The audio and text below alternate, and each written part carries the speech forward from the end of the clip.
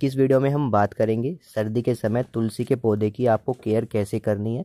उससे जुड़ी हुई जानकारी मैं आपको इस वीडियो में शेयर करने वाला हूँ कि कैसे हम तुलसी के प्लांट की केयर सर्दी के समय में कर सकते हैं और कौन सी खाद, कौन से फर्टिलाइज़र को हमें तुलसी के प्लांट को देना है सर्दी के समय में। चलिए दोस्तों, वीडियो को स्टार्ट करते हैं। तो देखिए दोस्तों, मेरे पास यहाँ पे एक तुलसी का प्लांट है तो इसकी मैं आपको केयर टिप्स आपको शेयर करने वाला हूँ। तो देखिए दोस्तों, सर्दी के समय में क्या होता है? एक तो प्लांट की ग्रोथ रुक जाती है, साथ में सर्दी के समय में पाला और कोरा ज़्यादा होने के कारण तुलसी का प्लांट हमारा मर भी सकता है। क्योंकि तुलसी का प्लांट हमारा समर प्लांट है तो इसकी केयर करना आपको बहुत ज़रूरी है। सबसे पहले आपको काम करना क्या है? तुलसी का प्लांट हो, अगर आपने बालकनी में रखा है तो बालकनी में अंदर की साइड शिफ्ट कर देना है। अगर छत पे रखा टेरिस पे तो आप ग्रीन नेट शेड का यूज़ कर सकते हैं प्लांट को पाले और कोरे से बचाने के लिए। अदरवाइज़ अगर आपने नीचे ग्राउंड में रखा हुआ है तो आप इसमें क्या कर सकते हैं? आपने तुलसी के प्लांट में आप कुछ भी पन्नी वगैरह से कवर कर दीजिए रात के समय में, सुबह के समय में इसको उतार दीजिए या फिर किसी कपड़े वगैरह से आप कवर कर सकते हैं ताकि तुलसी के प्लांट को ठंड ना लगे। सबसे पहला काम तो आपको यही करना है, उसकी प्लेसिंग कर देनी है।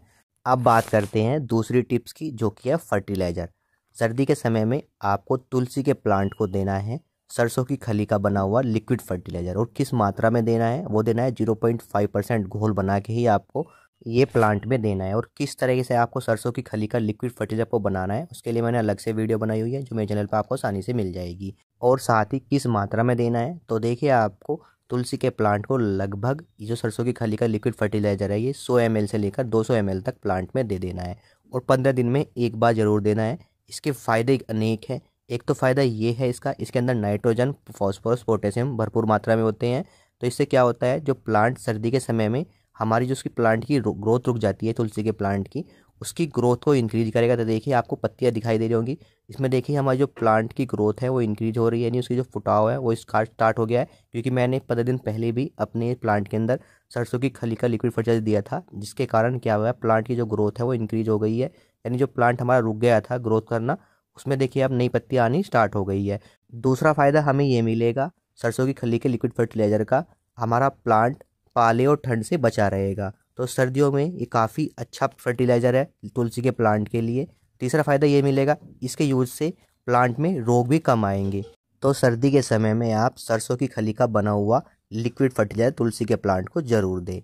अब बात करते हैं तीसरे टिप्स की, जो कि है पेस्ट कंट्रोल तो सर्दी के समय में आपको इंसेक्ट्स का कंट्रोल करने के लिए आपको तुलसी के प्लांट में दो एम एल नीम ऑयल को एक लीटर पानी मिला के उसका स्प्रे आप वीक में एक बार ज़रूर करें।